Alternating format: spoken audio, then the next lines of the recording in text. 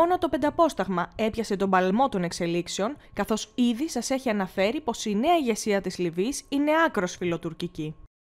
Με δηλώσεις του, ο μεταβατικός πρωθυπουργός της Λιβύης το απέδειξε και στην πράξη, αφού ανέφερε χαρακτηριστικά.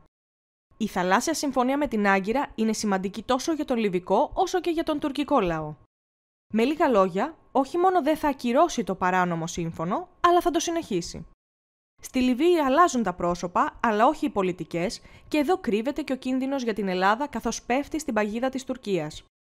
Και κάπου εδώ τίθεται το εξής ερώτημα: Τι θα κάνει η Αίγυπτος; Το Κάιρο έδωσε το πράσινο φως για την αλλαγή σελίδα στη Λιβύη.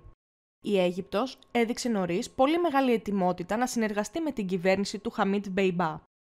Αυτή η στάση εκφράστηκε από τον πρόεδρο Σίση με την πρόσκλησή του προς τον νέο πρωθυπουργό, καθώς και στον πρόεδρο του Προεδρικού Συμβουλίου, Μοχάμεντ Γιουνέ Μένφη, πριν ανακοινώσει το σχηματισμό της κυβέρνησής του.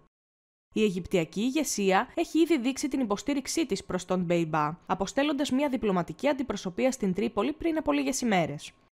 Σκοπός της επίσκεψης της αντιπροσωπείας ήταν να κάνει τις αναγκαίες προετοιμασίες για το άνοιγμα της Αιγυπτιακής πρεσβείας στην πρωτεύουσα της Λιβύης και του Αιγυπτιακού προξενείου στη Βεγγάζη, προκειμένου να διευκολυνθεί η κυκλοφορία των πολιτών μεταξύ των δύο χωρών. Ευχαριστούμε που μας παρακολουθήσατε. Αν σας άρεσε αυτό το βίντεο, μπορείτε να κάνετε like και εγγραφή στο κανάλι μας για να λαμβάνετε πρώτοι όλες τις εξελίξεις. Μην ξεχνάτε να μας κάνετε σχόλια με την άποψή σας, καθώς η γνώμη σας είναι πολύ σημαντική για εμάς.